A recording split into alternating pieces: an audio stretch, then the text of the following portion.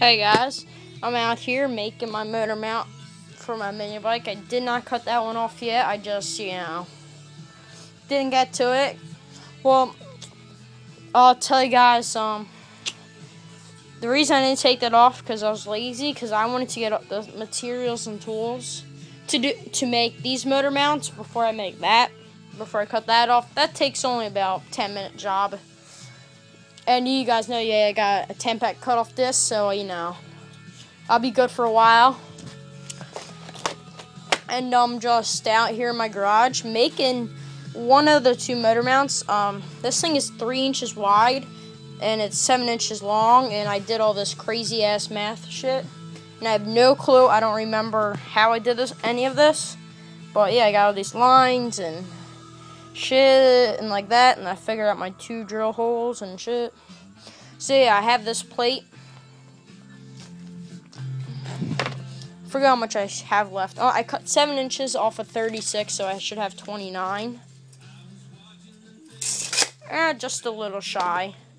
I cut the motor mounts. I, I cut them just a tad bigger. And so yeah, after I cut another seven inches off, I'm gonna have like all this left. So that's always good. This piece was 15 bucks. I only need like half of it. You know, that's just a quick estimate. What am I talking about? Yeah, I only need like half of it, so a little less than half. But yeah, I'm just gonna show you guys how to make your motor mount. First tools you're gonna need a drill and I would recommend if you had a drill press with the drill press vise, I would recommend using it instead of a portable drill. But I just have my Craftsman Nextec. Well, I can't even see it's Craftsman. That's sort of. I put a lot of use into this drill. I got overspray. I dropped it probably about maybe 20 or 20 or so times. The battery's just charging because I was using it all week and stuff to do all kinds of stuff and then I just never ended up charging it. So I drilled the I drilled four holes in this eighth inch plate, and then I started charging it. So you're gonna need a um, drill bit. You're gonna need a 5 16 inch uh, drill bit. You're gonna need a um, a um, round file. This is an 8 inch. That's usually the size they come in. But the com I have a comfy grip. You don't have to have the nice comfy grip. You can just have you know the regular the regular file. Well, I like this. It's easier to use. It's a lot easier. The round file, I highly suggest.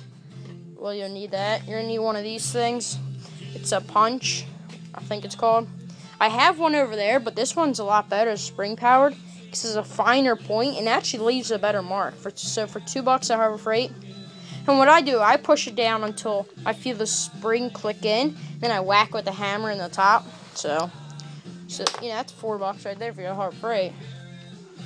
And you're gonna need, um, I'm just gonna take this off, show you guys. You're gonna need some sort of clamp to clamp it, to clamp it down your workbench.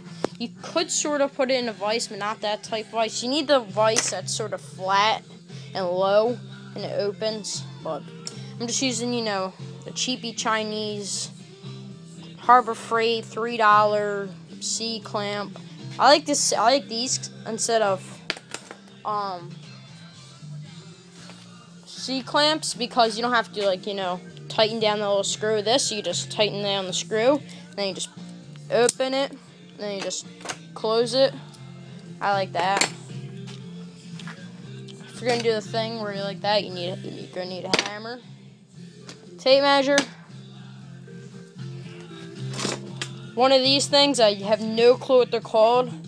I could go to a store and look at it, see what it's called, but I have no clue what it's called. It's ideal, some marking thing. That's good for making straight lines.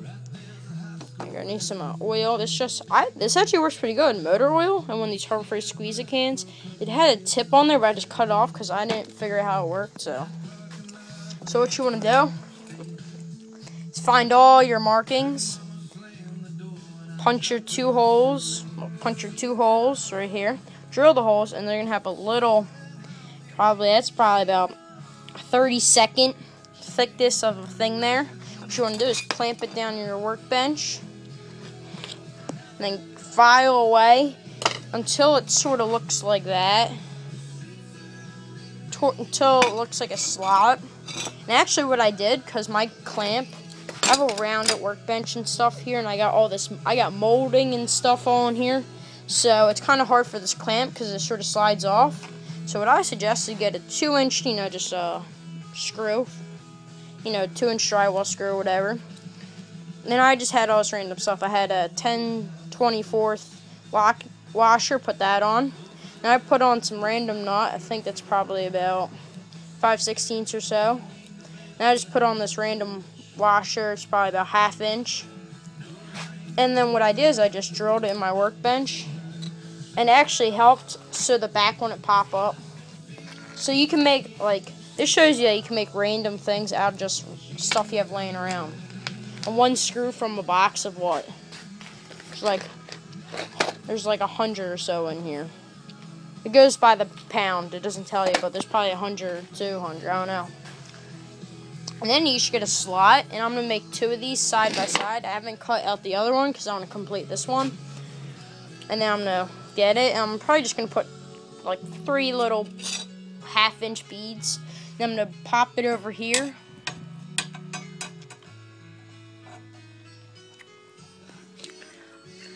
and then I'm gonna weld them and then put my motor on and it has a and it's a half inch slot I'm making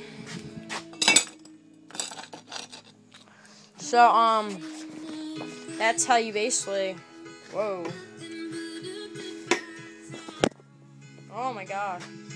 Stupid broom. I need like a broom holder hanging on the wall or something.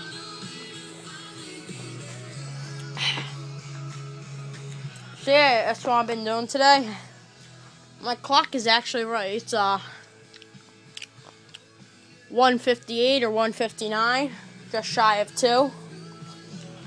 And I would like to go to scrapyard. You know, I, I want to clean out my yard, but they close at four. Oh wait, no, they close at 4:30 during the week, but they close at 12 noon, so they're already closed today. Yeah, it sucks. Or they're open tomorrow. I'm not even. I don't even think they're open today. Maybe that sucks. Would like to go, but like my dad's not home, and I have to go with my dad because he has ID. He's the only one who would actually take me. So yeah, that's just what I'm doing. That's just you know my motor mount making update. It's so hot outside, probably like 90 degrees. Probably like only like 80, but it feels like 100. And yeah, so um, so you see how you're gonna make this. It's a pretty good plate. After you cut it down to this length, it doesn't bend, it doesn't wobble like this one. This doesn't wobble. But yeah, now I got all this extra plate three inch by uh, something something. Three inch by 22 inch by eighth inch. I don't know what I'm gonna do with uh just shy of two feet, but I don't know. And I want to make a thing like a rack or something. I'm not sure. I'm thinking over here or here. Cause I notice I I want to build something like not just like a box, but something like a rack or something that I can put all my metal on because I have like you know I have a couple sheets of aluminum over there I got I'm gonna have 22 inches left of uh, this this material this is all good stuff you know and then I have probably about nine inches of like eighth inch by one and a quarter inch flat stock. And then I got this this left over probably about it's a quarter inch by about five or six inch.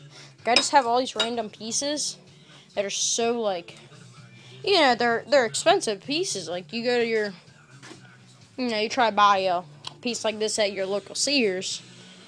Well they don't sell size like this you're gonna have to buy like a uh, thing and that's gonna be like 30 bucks so that's probably about a couple bucks and this is that was 15 bucks for that whole thing I probably still got 10 bucks I probably got about seven or eight but yeah I want to build like a. I don't know. I want to build something. But then I have, yeah, like smaller pieces. I don't know. I got a couple angle and shit down there.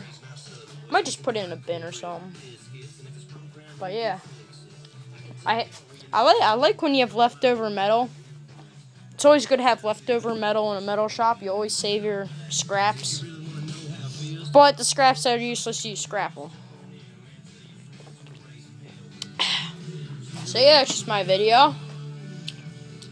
Oh, I want to show you guys one more thing. I was using my chain breaker, and the pin got stuck in the chain, and it won't come out. I have to work on that. And so yeah, it's just my uh, slot making videos. So see you guys later.